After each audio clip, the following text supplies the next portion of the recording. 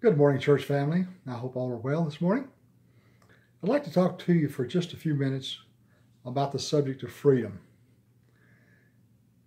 We have been blessed above all the world in the fact that we are living in a country that enjoys freedom more prevalent and more expansive than anywhere under any time period.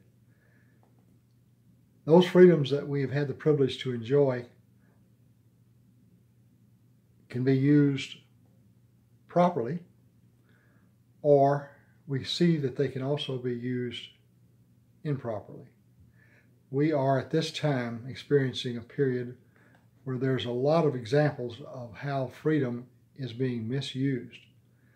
And not to be political about this, but to understand that freedom, in order to be a true blessing, has to be laid out and has to have parameters. And for us to violate those parameters, which causes us to violate the freedoms of others, is a misuse of those freedoms.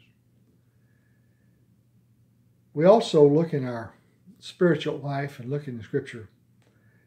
And not only have we been blessed universally within our physical life, the sacrifice that Christ has made for us has given us a freedom that is far beyond any physical freedoms that we enjoy.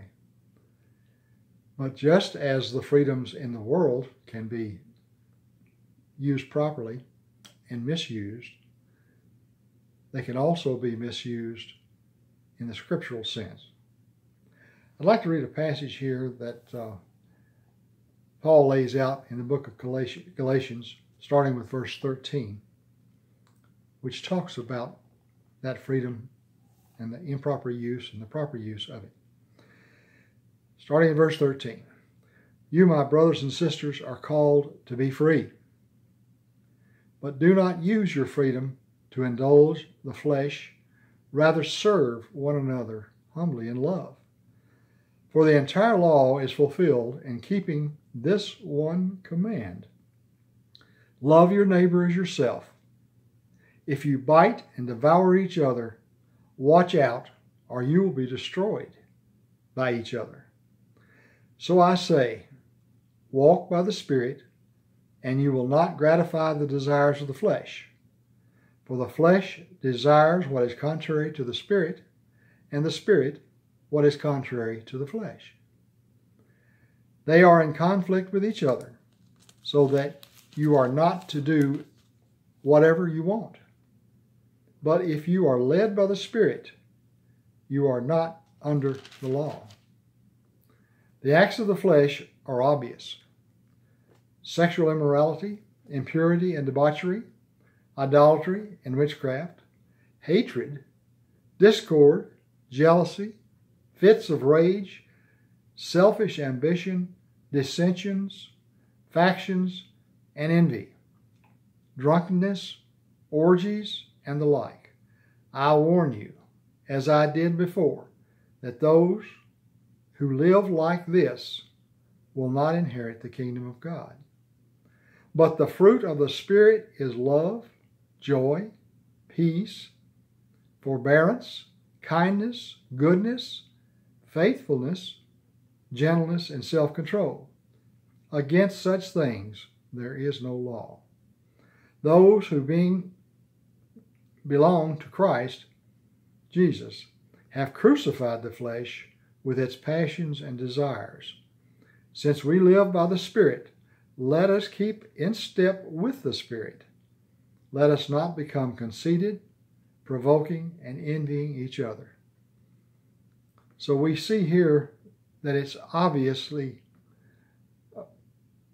it's obvious that our freedom can be misused, mishandled, and misdirected. And we are warned against that misdirection. The, the uh, freedom of the flesh and the freedom of the spirit are at odds with each other. They're in total conflict with each other.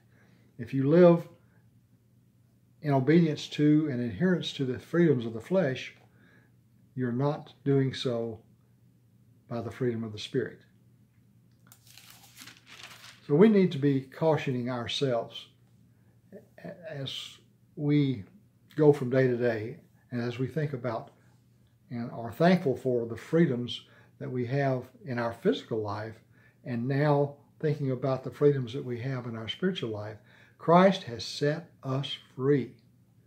Not free to do whatever we wish, not free to do whatever the flesh desires, but free to be in the Spirit, to obey Him, and receive the blessings that we do by following those freedoms. Thank you. I hope you have a wonderful day, and we look forward to talking with you next time. Goodbye.